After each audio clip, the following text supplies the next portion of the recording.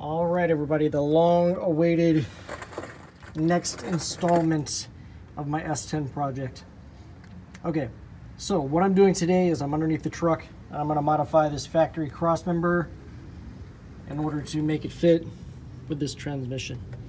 I could fabricate a whole new one, but frankly, there's a material here that I can work with and it's got factory mounting points, so I don't have to worry about making any new mounting points. So I'm just going to use what I've got, you know, recycle, reduce, reuse, all that good stuff. So my plan here is I've got my transmission sitting where I want it to sit. I've put the drive shaft in it. Everything lines up the way I want it to line up. So what I'm going to do to modify this, I think I'm going to cut it right here and then cut it right about here. I'm going to raise this center section up an inch and a half, which is where it needs to be. And also at the same time, I'm going to shift it an inch and a quarter that way to get this factory bolt hole that you see right there to line up with the screw or the bolt that's sticking out of the bottom of the transmission mount because right now it's off by about an inch and a quarter. Um, also, I think what I'm going to do is notch this out a bit right here. Probably cut that out just like this, cut that out, and then re-weld that up in there to give me a little bit more clearance for my exhaust coming out this side. Because obviously this side has been clearanced. Um, this one is not and I'm gonna have the dual exhaust. So I'm gonna try to notch this up. I may even use a little bit of uh, flat bar steel flat bar to raise that section up right there and give me even more clearance for my exhaust. I think that's probably a good idea. But what I'm gonna do is just kind of chop it all up and start putting it putting it in there the way I want and see how everything fits and take it from there. So follow me along. Here we go. Going on here.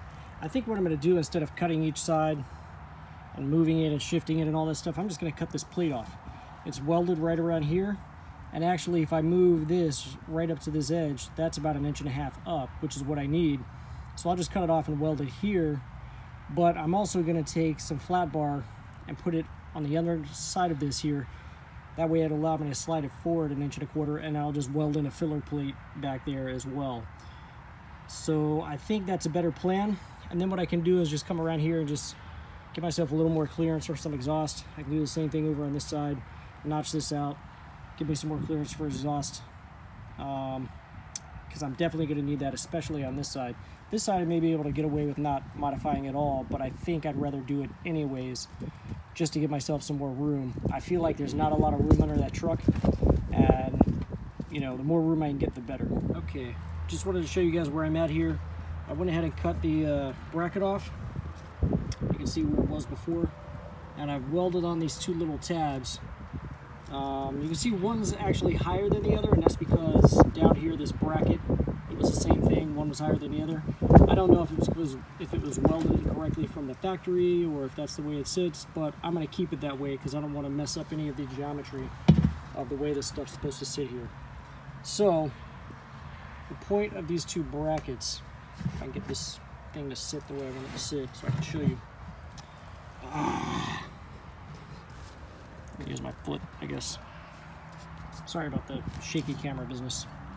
All right, is to hold this out here like this. And you see how I've welded it inward a little bit so I can float this around a little bit, side to side, front to back and everything.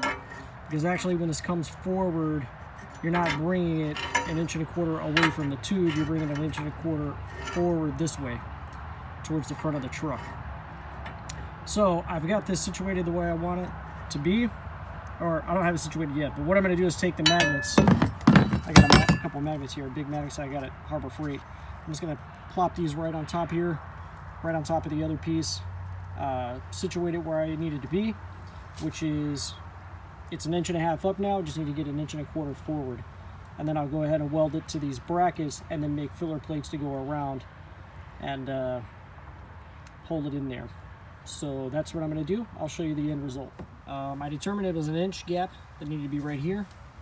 So I put in my inch gap and put a couple tack welds in. What I'm going to do at this point is go ahead and uh, go test fit it in the truck, see what we've got, make sure it's in the right position before I go ahead and weld everything else up. Because that's the last thing I want to do is get this thing all welded up, find out it's not correct, and then I'll pretty much have to start over at that point.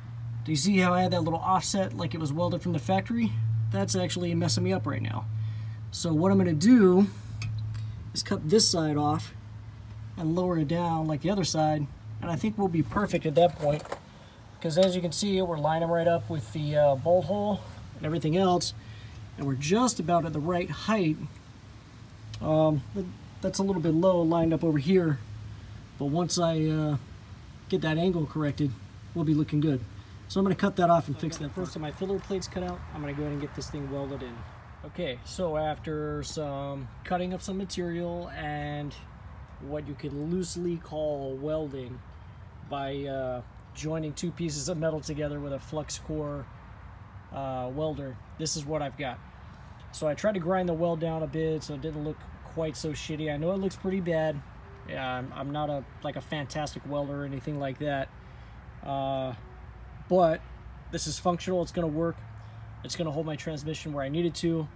Uh, I ran out of welding wire, so I'm gonna go weld up, or go get some welding wire, finish welding the side over here, grind it down. I'm gonna hit this with some black spray paint and then put it in position in the truck, show you the next thing got. I'm gonna work on is raising this area so that I have clearance on my exhaust. I'm just gonna, well, I've only got a square, and uh, right here and right here, I'm just gonna cut off cut it, cut it right through. And then this section here, I'm gonna cut the welds. I'm gonna recess this up into that. And then I'll kind of cut um, a notch out here and then bend the metal up from the bottom. You'll see what I mean. And then I'm gonna do the same thing over here. And then I think I'm gonna also make a cut here, raise this up. Actually, that probably won't work because of this weird business going on here. But I can definitely do it on this side. Make a cut, bring this up, and then just kind of gusset it. Uh, it's kind of hard to explain what I mean, but you'll see what I'm doing. Okay, so I've done some cutting, welding, and grinding, and this is where I'm currently at. As I said before, I cut those notches in here. Um, what I did was I kind of cut a triangle out and beat down the extra metal down. So I cut in and then out, down like that, bent this down with a hammer, welded it all in, ground it back out, um, I actually test fit in the truck and this fits pretty good. So what I'm going to do at this point is I'm going to take this other piece here, that was the bottom part of this, since it kind of had two plates sandwiched together, that's the construction that's going on. I cut the weld, and I've got this piece. So what I'm going to do is cut it right here along this line and reuse this piece. And I'm going to cut a little extra off the edge so it'll fit up inside here, and I'm going to weld that all in there as well. Then I'm going to weld some gussets along the top to give it a little bit more strength because the way it sits right now, it does flex in the truck a little bit. And this barely has any attachment right here. I don't like that at all, so I'm going to beef that up. So that's what I'm going to work on now. Um, you can kind of see what I've got going on. There'll be two humps for the exhaust. And it should work out pretty good. Give me some pretty good clearance for some exhaust. So that's the plan. Okay, so after a bunch of welding, if you want to call it that, a lot of grinding to uh, cover up my crappy welds. And uh, welding in a couple of gussets on the top here this is what I've come up with. Um, it doesn't give me quite as much clearance as the other side for exhaust. I think I've got four and a half inches there and I think I have three inches on this side. But unless you're running more than like a three inch exhaust you should be able to fit that through there and still have it be um, above the frame rail line. That way you're not scraping your exhaust on stuff. But uh, this was my solution to this. I looked around online to see, you know, what you could buy. And I found a straight bar one, just a, uh, a straight tube with a mount in the middle that went from frame rail to frame rail. That was $140. I found another one that uh, had the double humps on it for the dual exhaust, 280 and then the next one up which was a little beefier, was like four, almost $500, I think it was. So I think that for a spool of welding wire and uh, one plate of um, flat bar steel, I was able to make this happen. It's not the best looking thing ever, but I mean, I really don't care. It's gonna function. It's gonna be in the truck. It's gonna allow for me to run my dual exhaust. So uh, we are going to be good. I'm gonna go ahead and mount it in the truck, show you what it looks like mounted in the okay, truck. So after all that cutting and welding, this is the result. Sorry if it's a little bit shaky. I'm just trying to hold the camera underneath the truck. But I've got a little um, room there where I can run the exhaust through. Uh, the transmission is supported by the cross member and uh, we've got everything where we want it to be. So that's it. I hope this helps you working on your project. Uh, maybe encourages you to reuse your old cross member instead of spending several hundred dollars on a new one.